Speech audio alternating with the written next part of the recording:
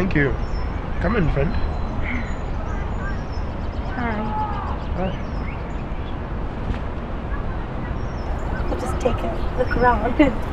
Sure, sure, sure. Just I need to write this one word down.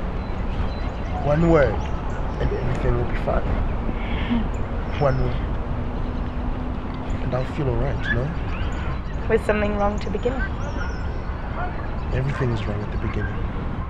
We burst into this world crying, bawling. We get slapped in the butt cheeks, for goodness sake. Well, it is rather a rude awakening Very. coming from the sanctuary of the room.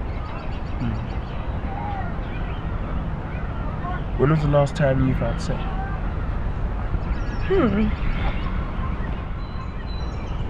Maybe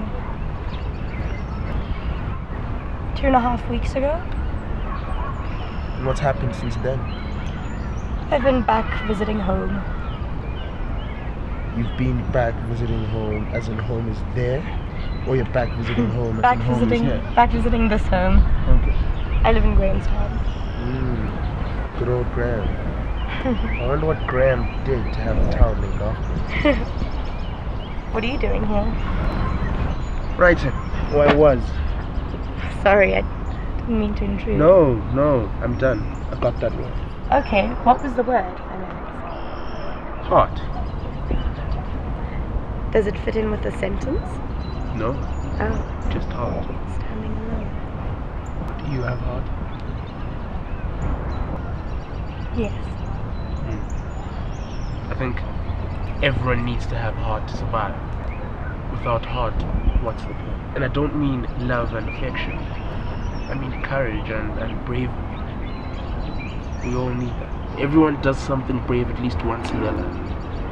I don't know, sometimes people think that they are brave, but they've never encountered a circumstance that has required them to act bravely and and maybe when they do it's possible that they realize that they're not brave at all and they feel ashamed because they always wanted to be brave.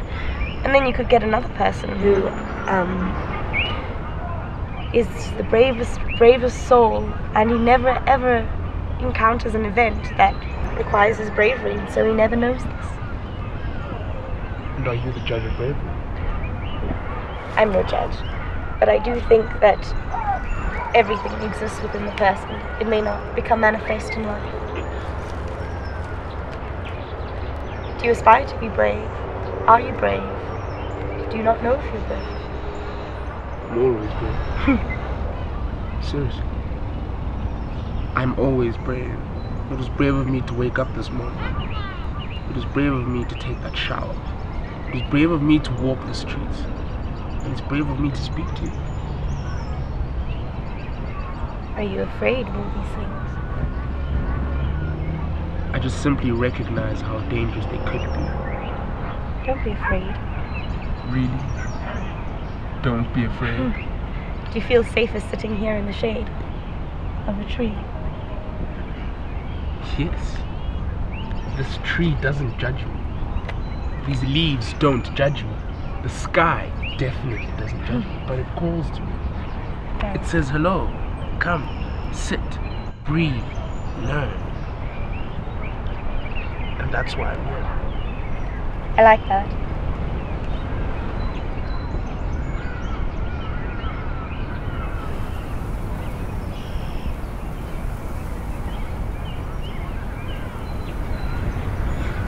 Anyway, Do you find it difficult to be you in the city? specify. I don't know. Um, when you walk the streets and anyone is looking at you, do you find it difficult, like being you? Do you feel? Not as difficult as I find it being me with the people that know me. I think that's always hardest. They expect one thing from you, and they get another. And they don't like that. It's when when someone who doesn't know me judges me, they don't know me, so I don't care. but someone who knows me and judges me, that's just a bit painful. That's a little bit. Yeah. Are you heading anywhere, Rose? Um, I guess I'm going somewhere. I have no idea where I'm going. I'm heading back to Grahamstown in a, a few days. That's good. To know that you're going somewhere. Yeah, it will be good to go back. I need more space than the city gives, you know? Physical space. Physical space, mental space. I don't really feel judged by people as I walk in the city or in Grahamstown. But I always crave a kind of space to look outward, you know, to look within. Um, so it can be quite suffocating to be here. You know, I used to feel suffocated way you do. And I, I wish to, to, to be in space. You know? Right up there with the moon and the stars and the sun. And then it occurred to me one day there are billions of stars. If I am this tiny part, my small insignificant self, feel crowded, how does one tiny star amongst the billions? Billions. Their life forces so intrinsic to ours, but so different. I mean, they're flaming balls of fire, you know? Does each one know they're unique? I don't know. What if there's a suicidal star out there who just wants to fade away because they don't get noticed amongst their brothers and sisters?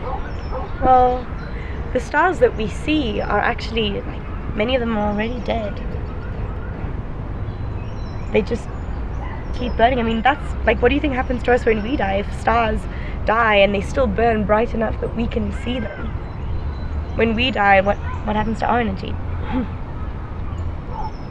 I always think that there's some resolution that needs to take place. But I don't think it's easy to resolve things here. What you're talking about sounds like a legacy. It just it just makes me think of, of legacy. You say stars are dead. The stars we see, they still burn. So surely there must be a point.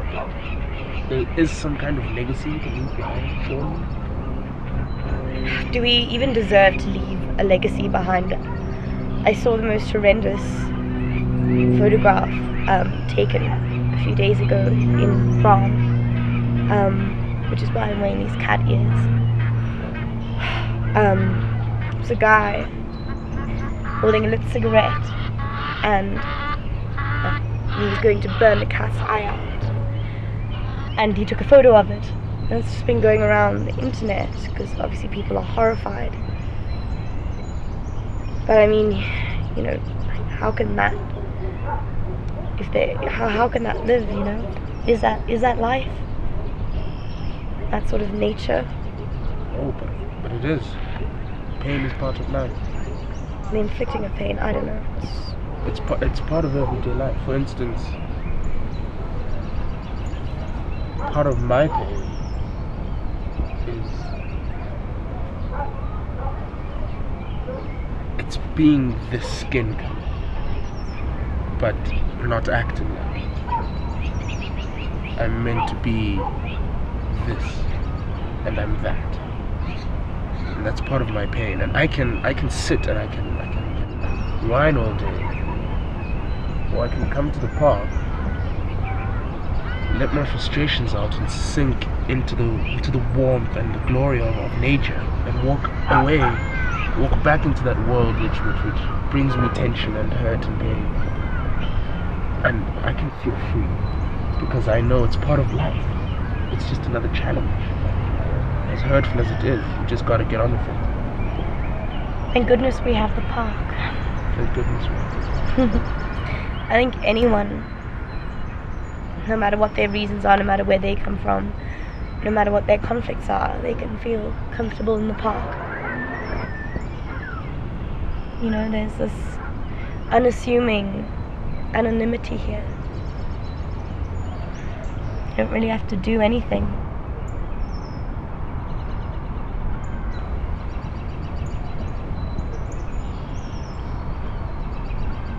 Would you like this?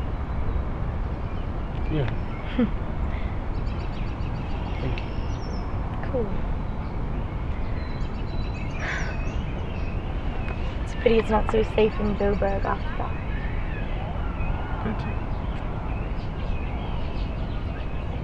Are you headed anywhere?